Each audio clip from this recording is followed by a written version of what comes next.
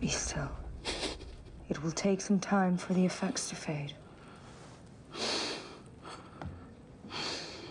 Here. This will soothe you.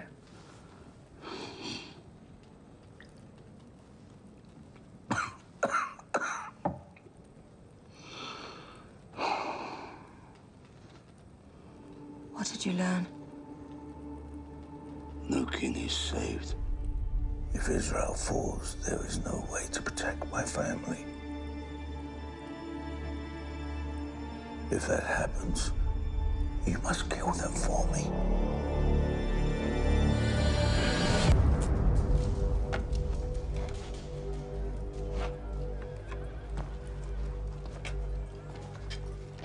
Not a meal fit for a queen, but hopefully adequate. Why are you doing this? I promised the king that I would see to the comfort of his family. It's a great courtesy, considering how he's persecuted you. In times of war, we must set aside our differences. You should eat. I'm not hungry. Mother? What's wrong? It's nothing. I just. I just need to sit.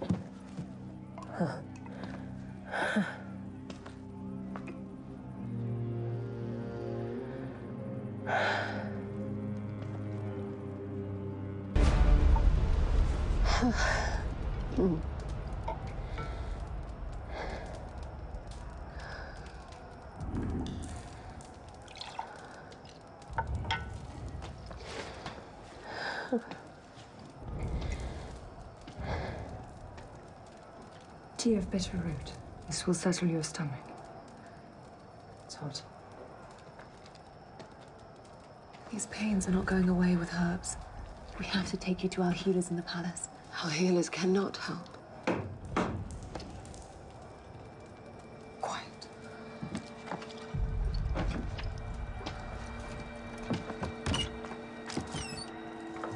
What is it?